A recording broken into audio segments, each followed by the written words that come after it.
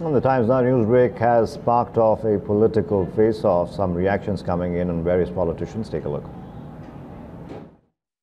This is an exceptional revelation what Times Now has done. Congratulations and kudos to you guys that you are getting this investigation to the real color. And people are getting exposed what they are hiding, whom they are trying to protect. Everything will unfold from today onwards when CBI takes up this case. There is no doubt a very much crucial evidence. And the way Mr. Pithani is mumbling and changing his stance, it's a matter of minutes for CBI to take his true colors out.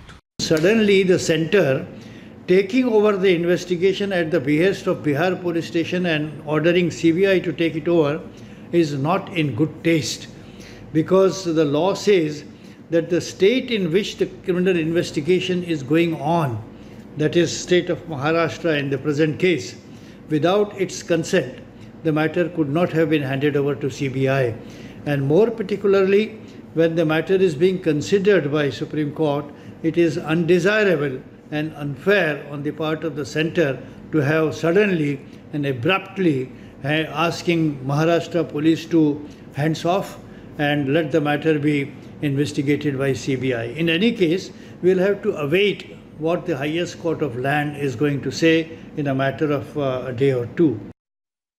इस case में लीपा पोती हुई जानबूझ करके साक्षियों को मिटाने की कोशिश हुई है चाहे वो सुशांत सिंह राजपूत के घर का वीडियो फुटेज हो या दिशा सालियान के घर का वीडियो फुटेज हो या फिर अब जो डायरी की बात आई है मैं टाइम्स नाउ के इस प्रयास को बहुत सराहना करना चाहता हूँ कि वो भी अपनी तफ्तीश जारी रखे हुए हैं, मीडिया के लोग, और डायरी के पन्ने फटे होना एक नया इसमें बहुत बड़ा सवाल है We'll take a quick break now. The news continues on the other side. Stay tuned to Times Now.